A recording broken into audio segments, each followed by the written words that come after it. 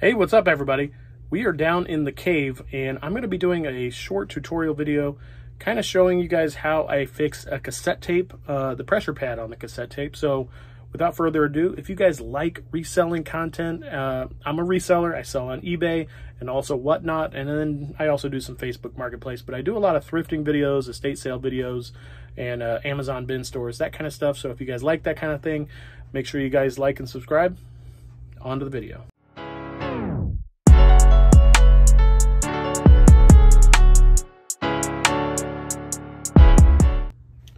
Hey everybody, I'm doing a small tutorial video to help show you how to fix the pressure pads on cassette tapes.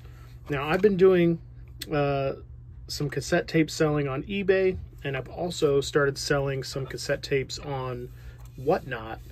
Um, and if you're unfamiliar, Whatnot is a auction app on that you can get on your phone. You can also do it on on a computer, but whatnot uh, is, primarily a live auction platform.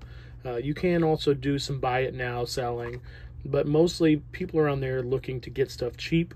Uh, so I started dabbling in whatnot, and I'm selling T-shirts and cassettes, and probably start doing video games and other kinds of media just to see what does the best. Uh, but it's a great way to sell a lot of stuff at one time.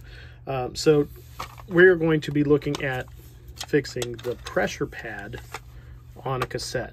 So as you can see, the pressure pad is not where it should be. It should be centered right there. There's a little magnetic or metal strip right there that it should be sitting on.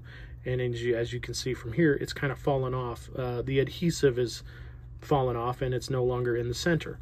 So it's that helps keep the tape moving uh, moving nicely across the way and then against the reader in your cassette player. So we need to get that pressure pad back on its spot. And all you really need are a pair of tweezers, some glue, and uh, just a know-how. Uh, so that's what this is all about. I was unsure the first time, so I was kind of just messing with it. And I figured out this method where I'm going to get my tweezers, and this just helps me get underneath the tape and you just lift up the tape a little bit like that. People do it with their fingers. It's really not, it doesn't really matter. Uh, but hopefully your tape still has the pressure pad in there. So you can just go in and grab it. And as you can see, it's just missing, you know, it just needs a little adhesive and it's gonna go right back on that spot. And as you can see, you can get a better view of uh, the tape of the metal piece where it's gonna be going. Um, I'm gonna try to get a, a zoom in here a little bit better. Uh, there you guys can see it. So right there is where it's going to go, right on top of that little metal piece. So as long as you have the tape kind of moved up, it gives you a little bit more room to get your tweezers in and out of there. So now that we got the tape up, we're going to unscrew the super glue. We're going to grab our little pad here with the tweezers, and we're going to get just enough super glue on there to adhere. So you don't need a lot, you just need a little bit. And then we're gonna gently place it on there and move it into place. So just like that, guys. And then once you get it in place, I like to just tamp it down ever so gently. There you go. You guys can see it's still sitting there right in the center where it should be. And if for some reason you open up your tape and it's totally missing the pad, which means it fell out long ago, uh, just go ahead and uh, get a cassette that you don't like or buy a cheap cassette from Salvation Army and make sure it's got the pad in there and then you guys can take that pad off and put it in the tape that you need to save. So once you guys get the, the pad in there, you can just wind it back up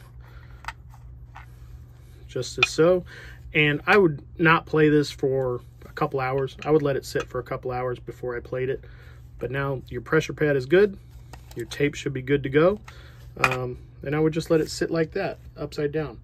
So there you guys go. Hopefully that helps somebody in the future. Um, yeah, if I figure out any other small fixes for weird things that I'm selling, I will definitely be sure to let you know. But that's it. I hope you guys are having a great day, and we'll see you guys out there.